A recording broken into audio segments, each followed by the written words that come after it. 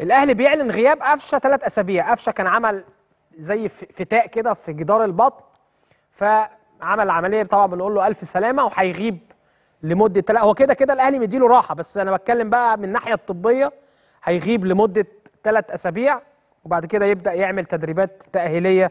ألف سلامة طبعا لمحمد مجدي قفشة.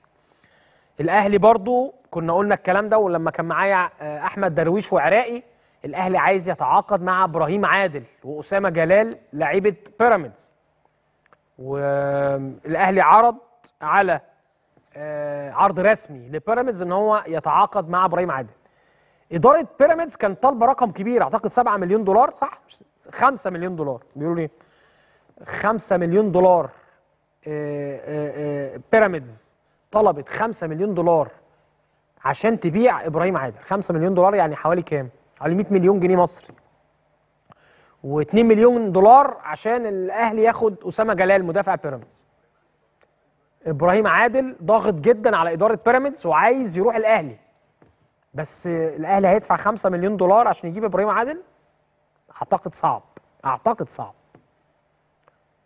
ويعني يمكن مش صعب لا ده مستحيل إن يبقى ممكن بقى الاهلي يقول لك طب نديكوا لعيبه وتدونا إبراهيم عادل وندفع الفرق والكلام ده لكن اعتقد بيراميدز كمان مش هيوافق على القصة دي ان بيراميدز عايزين مبلغ كبير ان إبراهيم عادل لعيب يعتبر هيبقى من يعني هو هيبقى الفترة الجايه من احسن اللاعبين في مصر.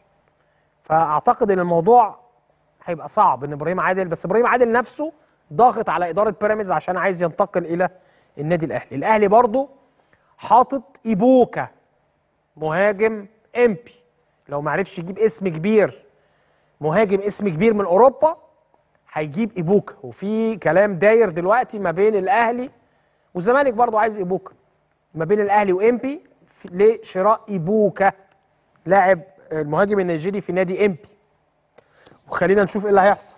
خلي بالكم كل الكلام اللي أنا بقوله ده مش نهائي. عشان ما حدش يقول لك ده كريم بيقول إن الأهلي. لا أنا بشرح لكم حتى بالتفصيل. بقول لكم الأهلي عايز إبراهيم عادل وبيراميدز طلب 5 مليون دولار. طب الأهلي صعب يدفع المبلغ ده. طب صفقات متبادلة آه، بيراميدز عايز فلوس. الأهلي عايز أسامة جلال مدافع من بيراميدز. بيراميدز عايز 2 مليون دولار في أسامة جلال. يعني بقول لكم التفاصيل لكن في الآخر هتحصل بقى مش هتحصل هنتابع مع بعض خلال الفترة القادمة.